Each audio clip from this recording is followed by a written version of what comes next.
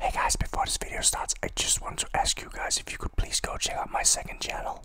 It's called Odd Dragons Oddities, and I post music and bloopers from my ASMR videos. So if any of that interests you, or uh, or you just want to see something with me that's not ASMR, please do go check it out.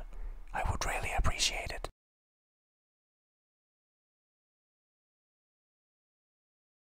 There's nothing like a nice relaxing bath, is there?